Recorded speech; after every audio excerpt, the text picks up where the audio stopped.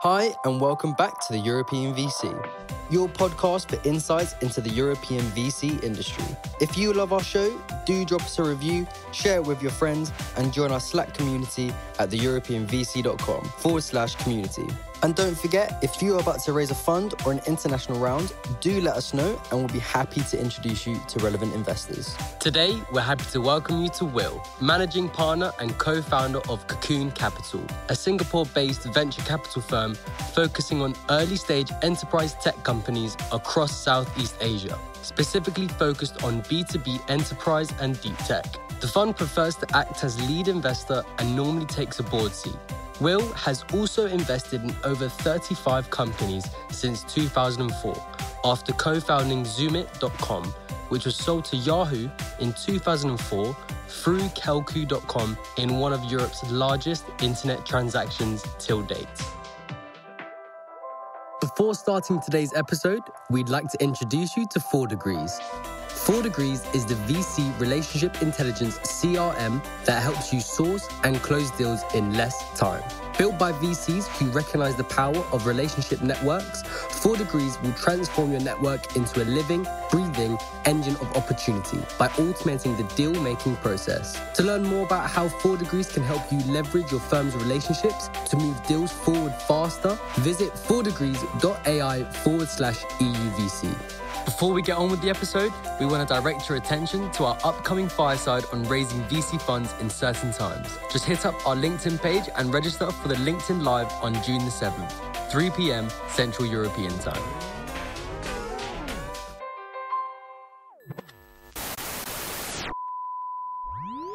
Will, welcome to the show and thank you for finding the time to talk to us here at the European VC. Hey, thanks for having me on. So, you are a different beast than what we usually talk to because all the time we talk to European venture managers and everything about the European venture ecosystem. Mm-hmm. But today it's going to be a bit different because we're going to look beyond and it's super exciting for us to better understand the rest of the world just for a couple of times. Do let us know what are your perspectives on the markets that are both globally, but especially, of course, in Southeast Asia where you're most active. Well, you, you know, I went out here to Southeast Asia in 2003 started investing in 2004 you know my view i mean my career kind of started in silicon valley in the late 90s that's how old i am. Just before the boom stopped kind of and, the big bust came in 2000 what i did was i went back to europe and i saw kind of a tech or online scene that was a little bit behind the us so you know in, in many ways i did the same thing when i went out here right? When i went east i came to a part of the world that in terms of online adoption and digitization and all of this was perhaps 10 years behind Europe when I came here in 2004. So what excited me and what still excites me is this enormous opportunity. You know, in Southeast Asia, we have 700 million people, very soon to, to hit that target. Every single day, 100,000 people come online that never ever were connected to the internet before. And that's hard to imagine for us coming from Europe and you guys from the Nordics, even where, you know, 99% of people are connected to the internet. So that's super exciting. Another aspect is that a lot of the global brain power and the global programming power actually, you know, resides in Southeast Asia and Asia. So also there's a cost advantage to running companies out here, but we can talk more about that later. So all in all, I'm, I'm super excited being a European VC in Southeast Asia. I'd love to just double down on the contrasting part that you did. So yes, you saw the US being mm. ahead of Europe, and then you were in Europe and you saw Europe being ahead of Southeast Asia. Then you moved to Southeast Asia and helped build up the ecosystem there, and of course also reap the benefits of that. But I'm curious to hear where do you see Southeast Asia today in comparison to Europe from a venture market perspective? So I think what happened in tech in the last 10 years basically made the other regions of the world catch up much faster. If you look at how fast Europe caught up to the US, for example because the cost of developing tech has come down so significantly. So you have big companies like, you know, Rocket Internet, for example. You can say a lot of things about them. What they did was basically the same thing. They, they saw this can be scalable to bring out models that have worked in Europe and bring it into Southeast Asia and just boost it up. Where it's going from here, I mean, it's just catching up much faster. And I, I think that in a few years' time, you will have some kind of digital equality around the world. And you will basically see tech spread across the world. For example, GDP or economic power, because tech is so important. It goes through all industries. It's part of everything you do. It's part of all kinds of businesses. That gap is still being closed in Southeast Asia. What was exciting in Southeast Asia is that first of all, you have the emergence of the middle class and people coming online in the 700 million people region, about to become the fourth biggest economy in the world, basically by I think 2030 at the same time, you have a lot of good engineers. And in our portfolio in Cocoon Capital, we see that you know almost half of the companies we are funding actually have a global market. They are actually selling to the entire world. It's just they're based out here. Where yes, you know the amount of AI engineers or sometimes some certain skills that are more developed in the West perhaps is lacking somewhat here. But the cost base is so much lower, right? It's so much cheaper and we have the same smart people out here in most of the areas because a lot of people go to southeast asia to study to start businesses for example. A lot of what we are doing is that we are kind of making sure that the funding opportunity is just as good out here as it would be in you know the uk or stockholm or silicon valley basically unleashing you know the entrepreneurs that are out here so I'm super optimistic. I mean, we can talk about valuations also later. That's an interesting aspect of this too. Yeah, of course, of course. I'm curious just to uh, double click on Southeast Asia because for me, Southeast Asia is a bit. I imagine that you're a bit in the middle of China and India, and that is two very big players and two markets that are really racing. The horses are out and they're running really sure. quickly where does Southeast Asia fit on that scale, and how is the collaboration across? If you look at the whole region. So Southeast Asia has kind of been the ugly child, I guess, in, in that setup. I imagine we have been, uh, yeah, no, it's a beautiful child. It's been left a bit in the shadow, right, of India and China. Obviously, if you look at U.S. venture capital, a lot of U.S. venture capital went into India and China in, in early 2000 and started accelerating from then on and obviously both these countries have developed in, in very different ways i would say right? And india is definitely an amazing growth engine. China is you know a little bit of a separate beast right? Because they are very insulated. But we do see a lot of m&a activity and a lot of interest from chinese companies wanting to come in. And they are not so keen on buying necessarily indian companies. They're more keen on buying southeast asian companies. First of all i think culturally it's closer to china also the growth rate I think of the, the economy in Southeast Asia is actually more similar to what China is used to, and they just feel kind of more comfortable going in here.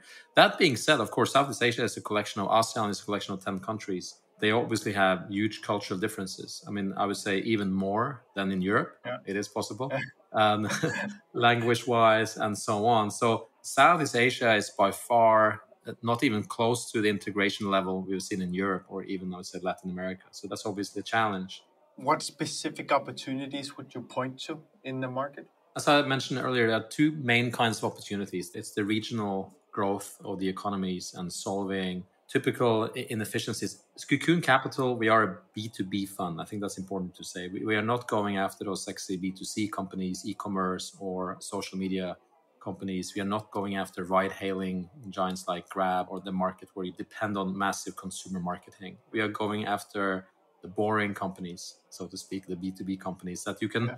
The good thing with the B2B companies and what I'm excited about here is that you can bring them on to take a pretty good market dominance with limited capital if you solve a problem really well. So I'm excited about the global part of the business where we solve B2B problems globally, but from a lower cost base. I mean, good access to people. I'm also excited about solving inefficiencies in huge markets with sometimes huge transactions where you can unleash a lot of value by cutting out middlemen or intransparent processes, intransparent markets, markets where people have been very comfortably collecting rent without actually adding much value. So we see that across e-commerce, for example, where you go in and basically connect the end buyer, the businesses with the manufacturers or main distributors. We have a company in Vietnam, for example, which has grown from almost selling nothing to being the dominating online platform for pharmaceuticals in Vietnam, grew tremendously during COVID. At some point last year was the only place pharmacies could actually buy pharma products because Vietnam had closed all the physical markets, for example. So that's also saving inefficiencies in terms of money, but it's also increasing the quality of the products being distributed and increasing safety for consumers, for example, because many countries in Southeast Asia do a lot of dubious sourcing sometimes, cut costs and to manage supplies.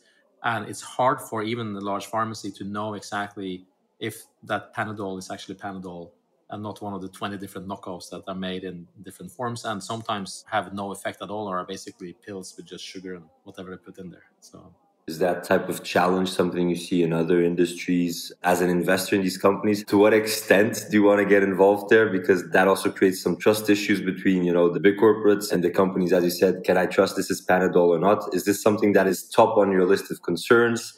Just expand a bit on it so we understand it. There are so many concerns that I don't really have any top concerns. there, there, are just so many things that can go wrong. And this doesn't sound like an LP pitch meeting, right? Uh, but I do tell LPs this when they want to put money into our funds. Investing in, I mean, all of the countries in, in ASEAN except Singapore are classified as developing economies. And with the developing economies comes a lot of issues around trust and around having proper processes that we take for granted in, in other countries. So I think it's an opportunity. I don't think it's any risk at all. I mean, yeah. you're thinking about the fact that we might then still supply the wrong goods and then be liable. Is that what you're thinking about? In a biotech, pharma kind of uh, space, it is quite worrying. In, in others, you know, it might not be as relevant. So I wasn't necessarily thinking of that implication. I was more thinking of how you operate in an ecosystem like that. Yeah, I think what is the good thing with, with most of our companies is that, they do something better and they do something cheaper although we can never guarantee that everything is perfect, I think what is very easy to demonstrate is that when we go in, we, we, we for example, one of our portfolio companies operate the biggest trucking platform in Myanmar, obviously a very challenging market right now. And what we're doing there is that this company is organizing truck drivers that before would go down to the city center and, and line up at seven in the morning and ask if there was a job for them. Instead, this company gives them an app and a system where they have a regular income where we have a tie up with the financial institutions to make sure they get their salary or their payment on time.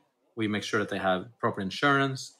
We make sure that they have their eyes checked regularly. We have inspection of the depth of their, you know, wheel, that we call it. Yeah, yeah, yeah. And we make sure that because of them using the app or in other ways are connected electronically, we make sure that they don't drive more than a number of hours per day so that we comply with international standards, for example. So a lot of these things, I mean, it seems a bit boring, but that's what we like and it unleashes a lot of value, right, to do these things. Yeah. And back to my point, it always benefits multiple parties. We're not investing in get rich quick schemes that exploit the opportunities. I think we always try to invest in companies that are riding on the current intransparencies, but actually do things better and still in a very profitable way. I'm actually curious because I'm actually unsure to what extent our listeners are aware of the Myanmar situation, for example it started what a, a, year and a half ago, two years or so. Sorry, I think that the coup happened now in, in January 2020. Yeah, exactly. Twenty one? No, I think it was the start of COVID. I believe so as well. I believe so. Well, but it's not necessarily about the dates, to be honest. Yeah. But it's yeah. you know about a lot of political instability. We personally actually know some remote workers that worked out of Myanmar and they just ran away. To be honest, and I'm curious to hear, you know, with investments in that geography, you know, how did you guys deal with that? Because that is the utmost of instability I can think of. well, it's challenging, and I think the team that's there has done very well. Obviously, it's complicated to navigate a situation where you, in many ways, cannot avoid dealing with the government, right? I think what, what you have to find is to find some middle way to keep operating. You have to also find a way that basically says, overall, this is benefiting the people living there, but you see other companies like, for example, this Norwegian telecom giant Telenor, who decided instead to pull out of the country. Yeah. They made a choice that they could not operate there without breaching their own rules or getting into trouble. So it's a very complicated situation when things like this happen. So before moving on to the next topic, last time I checked, and it was some time ago, so that if the numbers are outdated, help me out if I'm not mistaken, Southeast Asia had something uh, around 35 unicorns, 35, 40, something like that. I'd love to have kind of your analysis of the profile of these unicorns, of these big tech successes. You know, you name dropped a second ago, uh, Grab, you know, it's not something that you guys do, but it is, you know, one type of very specific profile of startup. And I'd love to hear your analysis because I don't know the market and I think most of our, our listeners don't know either there's been a lot of successes coming out of the most populous country in Southeast Asia, which is uh, Indonesia, which I believe has around 240 million people. I mean, it's close to the half or 260 million. I should know my facts right, but uh, it's close to half of the market, right, in Southeast Asia. So if you are big in Indonesia, growing fast there, you're kind of yeah, I can go into some other countries, but you know I'm, I'm pretty comfortable in Indonesia. So you have had successes there in travel, in ride-hailing services, and a few other areas. Actually, one of my early investments is actually listing on the New York Stock Exchange in uh, exactly five hours, which is very exciting. so I'm going to a big party downtown uh, after this. And that's actually the latest unicorn in, in Southeast Asia, which is a property search engine called PropertyGuru. I would say most of the unicorns are connected with consumers. So Southeast Asia has 30 unicorns. Tonight it's going to be 31, which is very exciting and that's into the, as I mentioned, the property space, uh, property comparison, uh, property portal. Well, if you look across the 30 unicorns today, they are spread across. So one part is obviously e-commerce. Everything is consumer focused, more or less. You have ride hailing, you have travel, and you have gaming. So one of the biggest successes and the most valuable company is Sea, S E A, went on Nasdaq. I think when they IPO'd at the value of one billion, I thought that was pretty insane. Obviously now it's around you know 140, 150 billion. But I think it was actually recently that value came down a bit. I think this valuation I'm looking at now is a little bit outdated, but obviously it has enormous traction and has, has actually also branched into its own e-commerce play. What you see a lot of in Southeast Asia is actually a little bit similar to China. I don't know how much you know about the Chinese ecosystem, but they have had a tendency to create those super apps, right? So you would have in the West, you have WhatsApp, and the only thing you can do is basically talk and video, and you can text yeah, on WhatsApp. Yeah. If you have the, the similar WhatsApp in China, WeChat, you can basically do everything and live your entire life within WeChat, and you can work and uh, play and, and uh, you know have a social life there. It's the um, one app to rule them all. exactly, and, and, you see a number of the bigger unicorns in Southeast Asia have been trying to replicate that. So the biggest ride-hailing company, Grab, has been trying to do the same thing. Sea, in many ways, have been trying to do the same thing an important part of what the unicorns out there try to get their hands on is obviously payments, right? And it's not only payments, but it's also financial services. So starting with limited wallets, for example, issuing your own Visa cards, but also probably going into more electronic payments and perhaps at some point crypto. So it's all about capturing this enormous growth in the middle class in Southeast Asia, where people go from living near the poverty line to suddenly uh, starting to spend money. What's interesting in Southeast Asia uh, as a B2C investor, I'm, which I'm not, but what is interesting if you were a B2C investor is that people spend more, a higher percentage of their disposable income on entertainment than in Europe, for example. They spend more time online than people in Europe do today. And that you can, in a way, draw parallels to the Chinese ecosystem where you see right now that more than 10% of retail happens online. That's an enormously high number that came very fast. In Europe, I think we're still slightly less than 10% of retail happening online. China jumped up there very, very fast. And one reason you could think of is that their disposable income grew very fast, but the infrastructure to actually supply the goods people wanted to buy in shops in the second and third tier cities in China wasn't there. You had to go online to find the products you wanted to buy. And that, to some extent, is the same case in Southeast Asia as well. So I remember going to China for the first time, and I remember the feeling of I'd almost call it, in a sense, hopelessness. In that I'm used to having a frame of reference to understand everything around me. It hit me that here in China, I have no idea of anything that's going around me. Uh, mm. So that person standing over there is that person rich? Is is the person middle class? Is the person looking at me because he's angry, or is he just looking at me because I'm a Westerner? Uh, you know, none of my normal references work there. And I imagine coming to Southeast Asia as a VC is quite a daunting task. So, your team, how have you structured it? How many of you are native Southeast Asians? How have you managed to navigate this? Well, we have a team of seven people, out of which four are native Southeast Asians, and three are it's me, Michael Blakley, my co-founder, British, and uh, one Australian associate. So we're definitely diverse, I think. But yeah, it's a good point you're raising. And then if you add on to that inability to travel over the last two years, right, where we had to do a number of investments with founders we still haven't met. I'm going to Vietnam next week, and I'm actually meeting uh, one founder for the first time that I've been working with now for two years. Never met him in real life, so that makes it even harder. And as you correctly point out, I think for Cocoon and you know most VCs, I think people are and remain the most important part of a business, and it's really really important part of our due diligence and decision process when we kind of have, have crossed the first few hurdles of liking the business plan and understanding the space and believing in the opportunity. It's, it's down to can these founders execute? And there you see quite a few interesting aspects. And, and the funny thing is, if you go to an emerging market from an area of the world that is more developed in the kind of startup vertical you are starting in, you have a big advantage.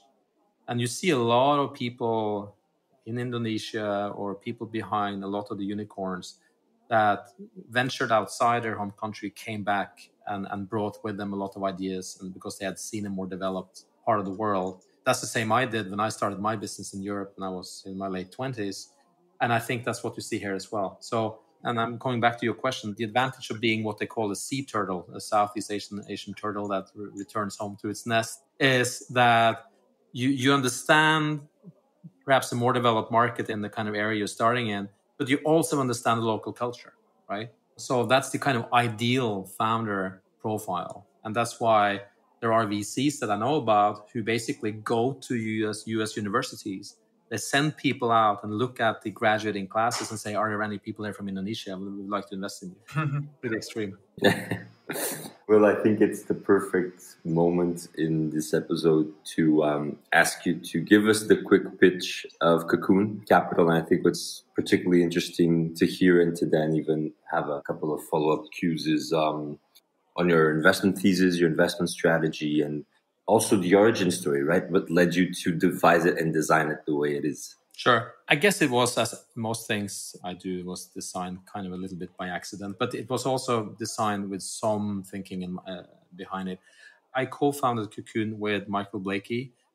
I came out to Singapore in 2004. I had kids. I kind of stopped working full time and I became an angel investor. I did around two deals a year. It was a very reasonable workload, uh, I would say, back in those days. Uh, I did pretty okay, uh, mysteriously. And obviously, I did all the mistakes you can do as an entrepreneur turned investor. I was probably a pretty bad investor in the first four or five years. Hopefully, turn a bit better now. But what I did have when I met Michael in 2014, 2015 was that I had been investing for 10 years, right, into startups. And very few people had that 10 year experience of working with startups. I also had been investing with my own money which I think, I mean, some VCs might disagree with that, but I think it gives you a, a really strong way of looking at opportunities because you know you're not really representing other people's money and if something goes wrong you take the entire loss yourself. So you, you tend to be even more involved. I think being a vc makes you involved in, in any case but it gives you an even stronger kind of incentive to really be careful about your investments. One thing of course by doing only two investments per year is that yes you are by definition very selective and then, then i met Michael and I had been trying to find a business partner for probably half a year, a year to kind of start a bigger fund. At, at that time in 2014, Southeast Asia was kind of coming out and starting to be a bit more interesting when it came to digital and tech opportunities. Uh, Singapore saw a lot of funds coming. So we kind of wanted to start something that could kind of gather a bit more capital. instead of having to syndicate every round we did at the seed stage, we could then invest the entire round from the fund. So that was something that Michael also wanted and he had done the same thing. So he had been investing out of the UK for like 14 years at that time since 2000, doing also two, three deals a year. So we had kind of very similar experience. Our IRR was not bad. So he basically said, why don't we start a small seed fund? We should probably do seed because, you know, Series A, is too much money to advance for us. We, we kind of like to be at the seed stage where things are fussy, unclear, nobody knows what they're doing. They're just getting to understand that. That's where we kind of felt comfortable and that's where we created value looking back at our investment record, we had done a lot of B2C. I think in 2014, it became clear that it was quite expensive to launch a new B2C company, even in Southeast Asia. And we said, let's do only B2B. No one else is saying that. Everyone else that started their fund was doing B2C. We looked at the proceeds of investment. I think 90% had gone to B2C companies, 10% to B2B. So, so we basically said, let's do that. And off we went. So another thing that we found that both of us have been doing was that we actually had worked quite closely with founders, right? We actually had spent a lot of time coaching, sitting down and doing the hard work, a lot of times, probably too much work has probably led me to understand that we shouldn't do too much work. Then we should rather start a new company, right, instead of being a VC. So, but both of us had at least the kind of ethos to help founders. Never charge for it, by the way. There are funds that charge to help founders. I think that's absolutely wrong and immoral for multiple reasons. We can talk about that another time. So we found that we actually shared those values. That's the main ethos of Cocoon. Investing in few companies, no more than six a year, although we end up with doing five. We basically change 2,000 opportunities we see every year down to five real investments. We work with those companies for two years. On day one, we start preparing for the next round. Something we launched in 2020 was something we call the Cocoon Academy. So we often assume that founders know everything, or we make assumptions without even thinking about it and we talk about cash flow and marketing strategy and, and, brand strategy. And we find out that some founders know more than us, and some founders know very little for a certain kind of topic. So we basically said, why don't we have a small MBA program that we drive ourselves? We have a 16 hour MBA, mini MBA, the Cocoon Academy. We take them through that in 16 weeks, and that's the onboarding process with Cocoon Capital. This is not the right thing for some founders. We warn them beforehand that we're going to push a 16 hour MBA program on them. Some most of them are very happy, right?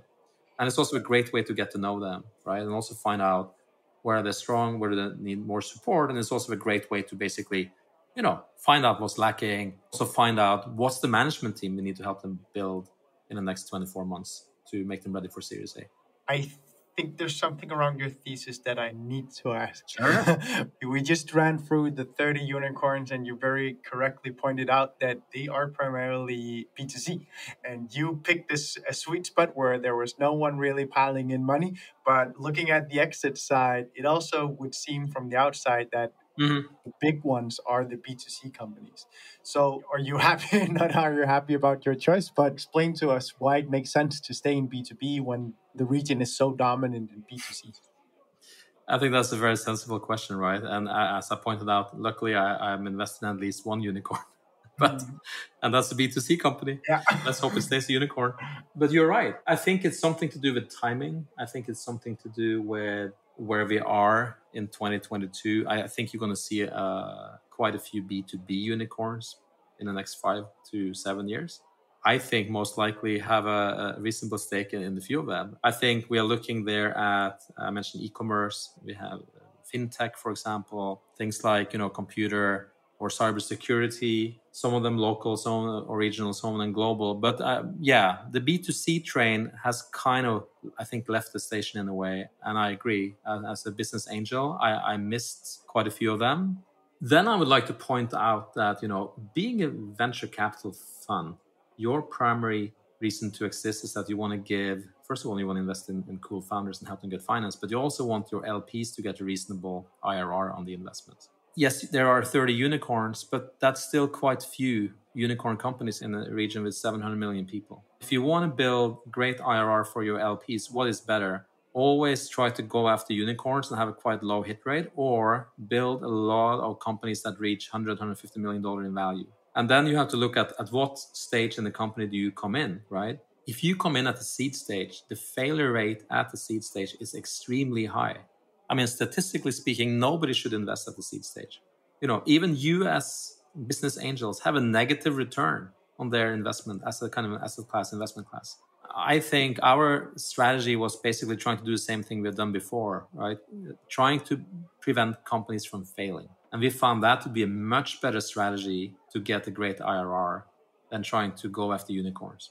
It's very interesting. And that's also, I guess, shown in the number of investments that you do every year. Because if you just try and hit the ones that will skyrocket by themselves, then you want to try and hit as many as possible. Whereas if you actually need to make sure they survive and help them grow, then you want to be a lot more concentrated. Very true to have a model where you give deep and comprehensive coaching and offer a lot of resources to founders as you're saying yeah you cannot go into that high game. So you have other companies that are very successful doing a different play than we do. I mean when, I, sometimes i meet 500 startups on stage and i say i'm from five startups. That's how we are different. I like that.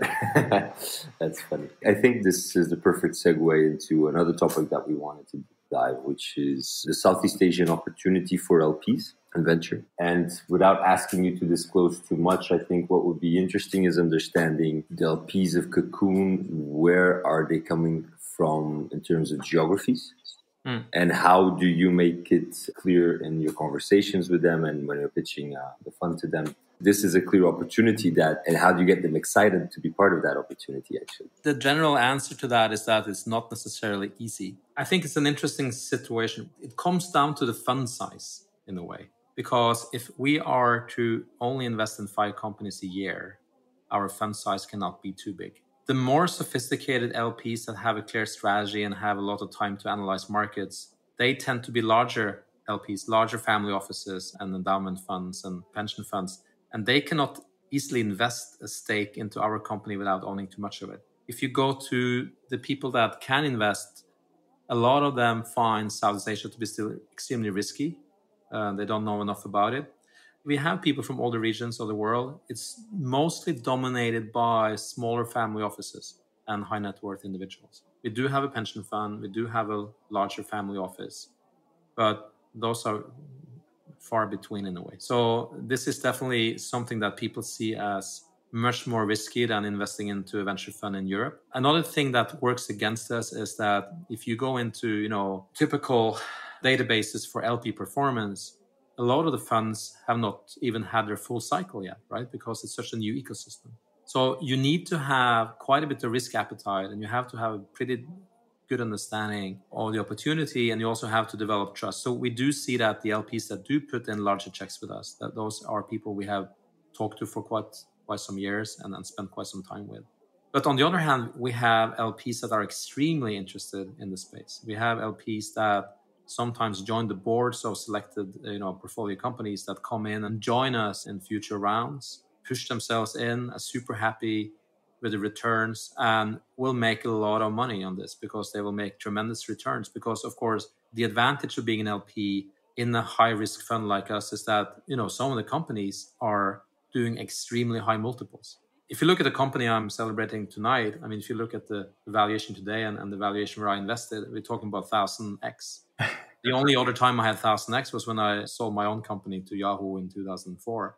Because you go in at the seed stage, and if you follow those companies as an LP in a very active fashion and then selectively try to go in and do future rounds, you can make an extremely high profit. The thing that we didn't talk about, which we usually try to explain to LPs, is that because Southeast Asia so far has been somewhat of a not good looking child, it's a big discount on the valuations in Southeast Asia. It's, it's somewhat unfair to entrepreneurs.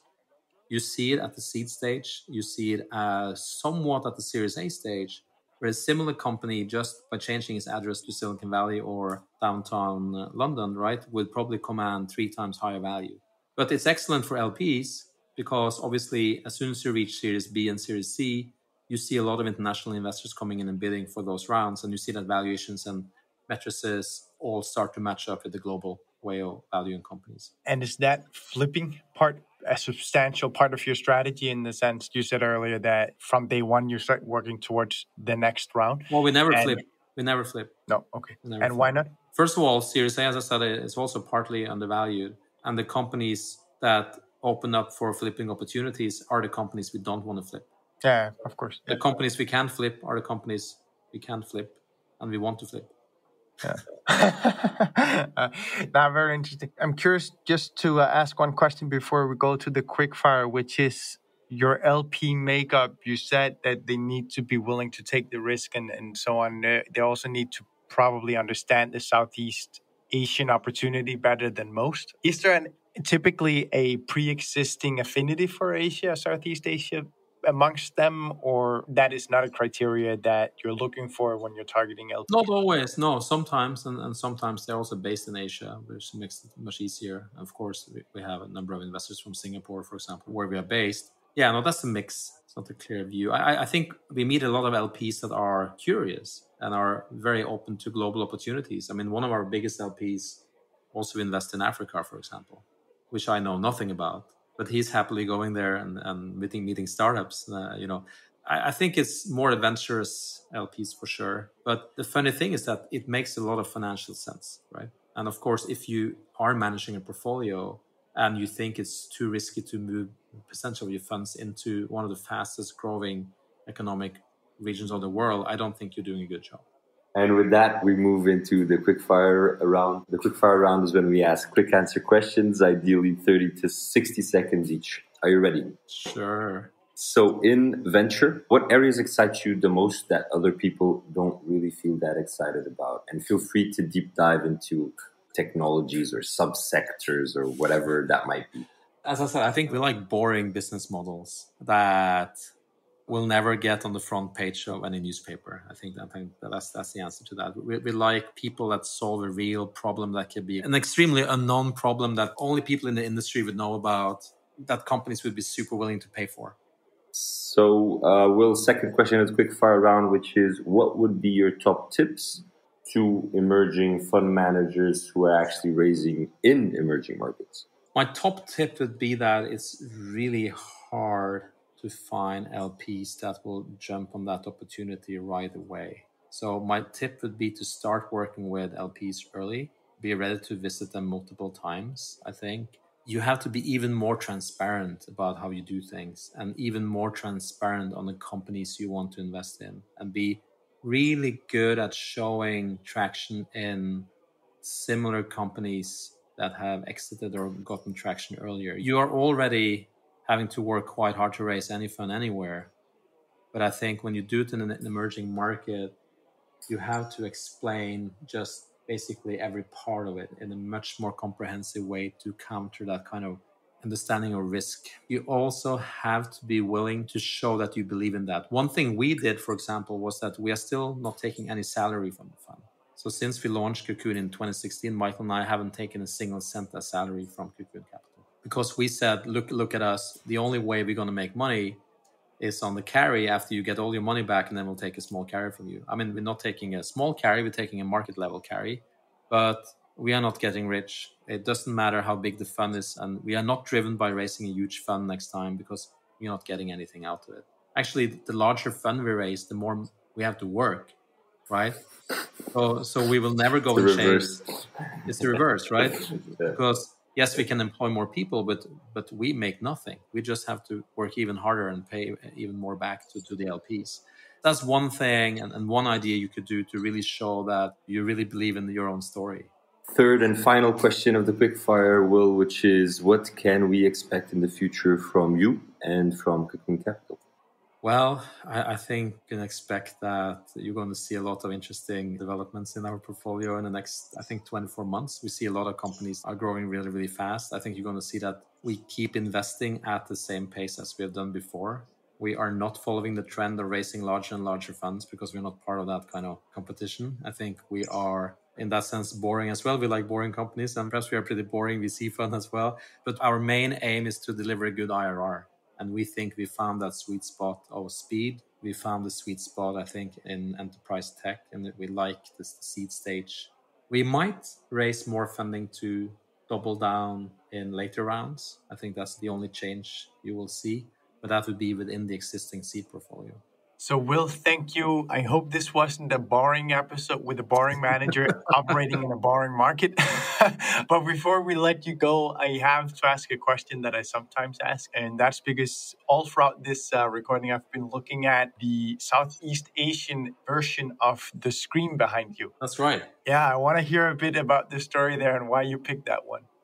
This is my daughter's painting. It's a combination of this Japanese anime character which I forgot the name of, Edward Munch from Norway. I can find that out later. Yeah, no, that's it's a, it's a, very it's a very famous anime character. It's yeah. called Spirit something something something. Spirit. if your daughter will accept it, we will uh, share a photo of it uh, together. Oh, please. You. you can also buy the NFT on uh, OpenSea. Ah, of course. I'd rather have the physical one behind you. Okay, I mean, that's, uh, that's possible. That's a shout out to everyone listening in. We have some pretty wealthy uh, LPs listening, so I'm sure that your daughter will now become richer than you. That's uh, not unlikely. Uh, that's very likely, actually. if she's on the uh, NFT wave, I'm sure that she will be. I'm pretty sure as well. Thanks a million for joining us. This was awesome, Will. You haven't been boring at all. Thank you. Four Degrees is the VC relationship intelligence CRM that helps you source and close deals in less time. Built by VCs who recognize the power of relationship networks, Four Degrees will transform your network into a living, breathing engine of opportunity by optimizing the deal making process. To learn more about how Four Degrees can help you leverage your firm's relationships to move deals forward faster, visit fourdegrees.ai forward slash EUVC. Thank you for listening to this week's episode of the European VC, your podcast for insights into the European VC industry. If you love our show, do drop us a review, share it with your friends, and join our Slack community at theeuropeanvc.com forward slash community. And don't forget, if you would like to suggest topics or guests for future episodes, join our community and help make the best pod for everything European VC. And if you are about to raise a fund or an international round, do let us know and we'll be happy to introduce you to relevant investors.